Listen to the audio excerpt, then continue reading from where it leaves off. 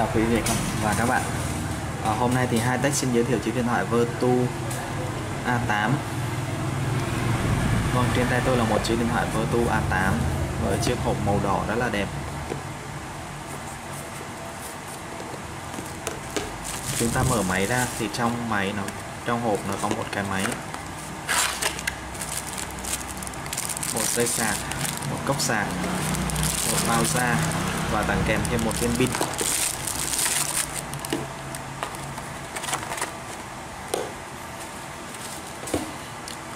Ờ, đây là chiếc điện thoại Vertu A8 phiên bản màu vàng. Các bạn thấy là máy có thiết kế rất là đẹp. Theo kiểu của Vertu và cái phần viền máy này nè. Phần viền sườn máy. Nguyên cái sườn này và cả cái đường ở phía trước bàn phím này đều được làm bằng kim loại. Đây các bạn thấy là nó rất là sáng bóng và đẹp.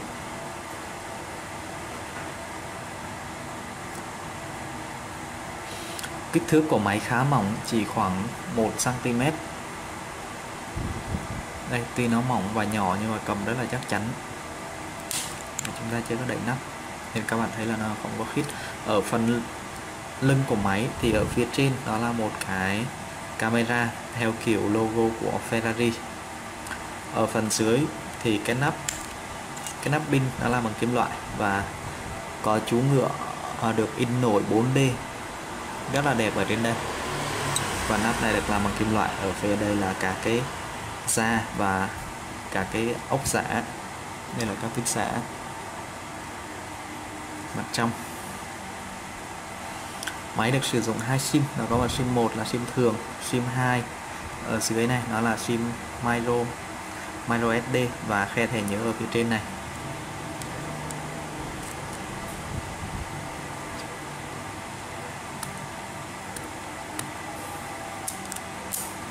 À, điện thoại Vertu A8 được trang bị viên pin 1600 mAh. Bây giờ chúng ta lắp pin vào và khởi động máy lên.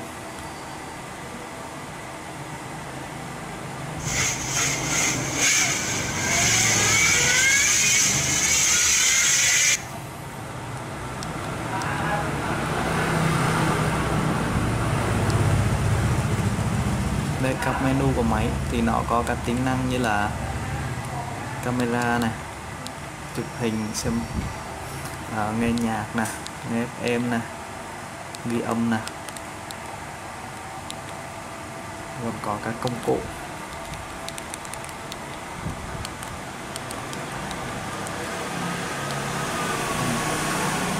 Các bạn đang xem đây là một chiếc Vertu V5 à, Vertu A8 phiên bản màu vàng.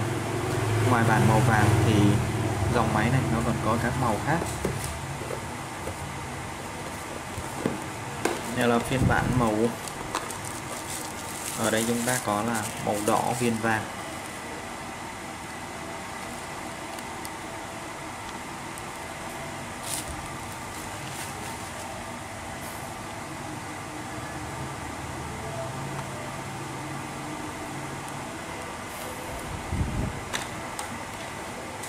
Ngoài ra thì nó còn có một màu nữa, đó là màu đen, viền vàng